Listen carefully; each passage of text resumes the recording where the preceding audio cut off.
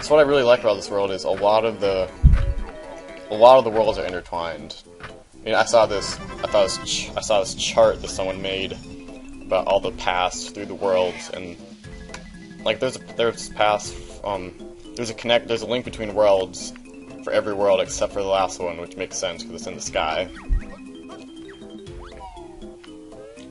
So now I just go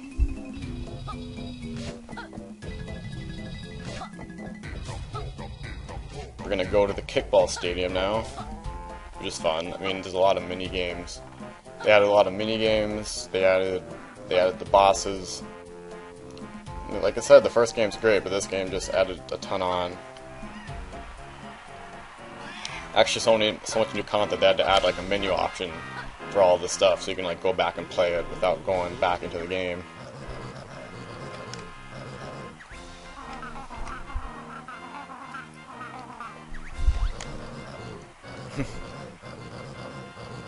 I like how he knows that you're a bird and a bear transform into a stony. I mean, I doubt he's ever seen you unless he was he saw me walking past earlier, but I don't know how good their range is in this game. So now we go play kickball, which I really like.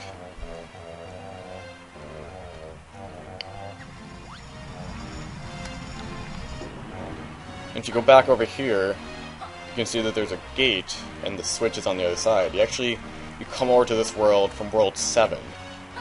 So that's how much of a link, how many, it just shows how many links there are and how much backtracking you need to do some stuff.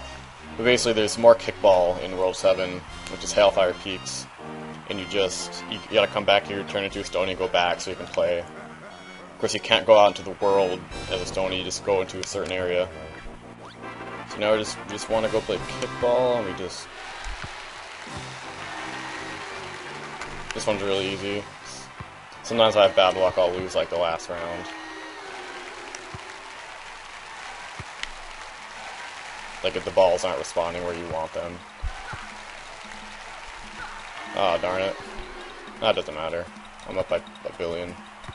Not quite. Oh, rejected. So it's just this guy like dashing around and just shooting the ball and these guys aren't very fast.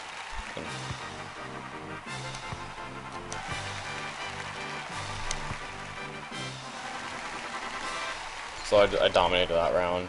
And like, since it's the first world, it's not that hard. Like I said, if I do, if I get terrible luck, I might lose the last round. But you can just try again, but it just wastes time if you're trying to do a speed run. Like I said, I'm not doing a speed run. I'm just, I'm just doing what I know. It'll be a bit slower than normal, but I, am gonna have fun doing this. I'm not gonna stress myself out trying to shave off every second. In the second round, they add these red balls. They take off a point, and the blue balls add a point. No, the old blue balls, what am I talking about? Yellow balls add two points, and red balls take off one point.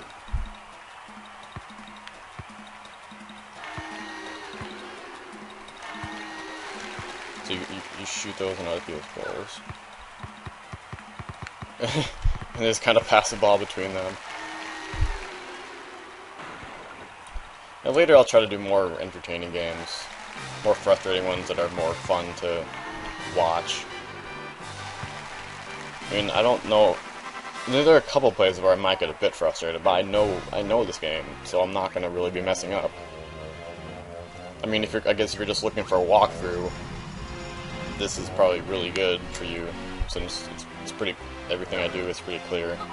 Maybe this, the commentary is a bonus, but I'll, I'll work on it. I know, I don't know how I'm doing right now. It's not that funny. Definitely not as funny as ProtonJon. Waiting for him to upload the new Super Superman video. Let's play Superman 64, which I've watched a couple times. I mean, I've, I've had fun watching that. It actually doesn't look that terrible. And then that's a, that's a bomb.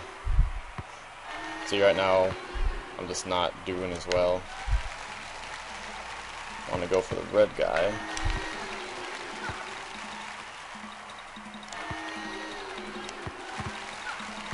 Stole that ball. Alright, now I'm getting back up to snuff. just in time for the World Cup to be over. Thank God. I mean, soc soccer is fun to play, but it's just not fun at all to watch. Because you're because we, we had a couple games that are like zero to zero, and that is so exciting. You know, just watching people go back and forth, trying to score a goal. Oh, they're gonna score? Oh, nope, the the defense got it and they kicked it back. And so that just goes back and forth. And if you're on the field running after the ball, it's really fun. But it's just not one of those games that's good to watch. I don't mean to offend soccer fans around the world, but that's just my opinion. Not bashing you. If you like soccer, that's great. I don't care. See, I'm, I'm a baseball kind of guy. Some of you might find ironic since since some people think baseball is equally boring. But I really like it. I feel like more can happen in baseball than in soccer. So, But back to the game. I lost my train of thought there, trying to decide where I should go next. I think I'm done with the Stony for now. So I will just... I'm just gonna play now, because my video is done uploading to YouTube, so I'm just gonna upload that. Oh, looks like, yeah, I guess I don't need to do anything else. So now I'm gonna go get one of the other ones. Damn it. That's like, that's probably like the only time I get hit, like, I ever get hit by enemies, I accident accidentally run into them. Because you're not going to go around actively fighting enemies, there's really no need to, unless you need the health. And this is a path to the to the cheat chamber, just like the the cat the sandcastle in Banjo Kazooie. And on this one, you can't sneak yet. If you try sneaking like that, like that will happen every time. But then you gotta so next then you gotta sneak afterwards. He's just a stereotypical snake.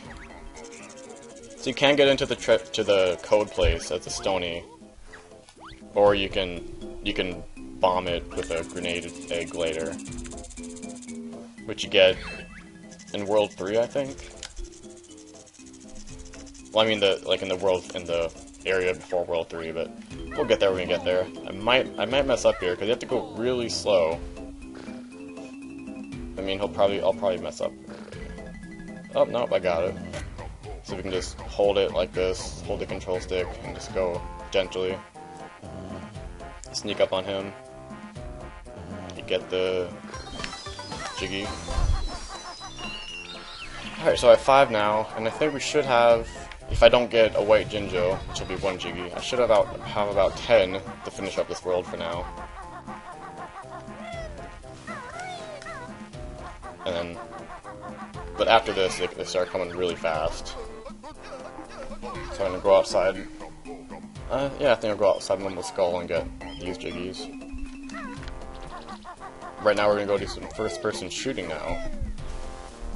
Which is fun. That's what's good about action-adventure games. Can, you can throw in, you can dabble in a bunch of different genres. That's what, that's what's fun about Zelda Twilight Princess. Because you did like, there's like skiing, and there's like arrow shooting. Except then the ending fucked it up. But the ending is probably one of the worst endings to a game ever. Maybe that was because the game was overhy overhyped a bit. I mean, it got delayed and it still felt rushed. There's actually a Jiggy on top of the statue, on, like if I go around and go up the top, there's a Jiggy there. But I'm gonna get that some other time. Just another speedrun technique. Like if I can get it on the way to another one. So basically we have to go inside here. We have to collect these statues. They're called relic thingies, which doesn't sound very formal. And basically it's not that hard. If you know how to get this one row, it's like five of them, but there's this guy protecting them, but you have to, so you have to like take them out. I'm just trying to find a ramp here to get to the top. You know, I think it's possible to beat it without it, but otherwise it's just... So you gotta... It's kind of hard to... Alright, we got him, so... go back around this way and go pick him up. I think there are a total about... Maybe three of these first-person shooter collecty things. and then another one that's a mini game, but you're not really collecting anything, you're just shooting. And the like the last one is like just really frustrating. And I'm back where I started, so that's great.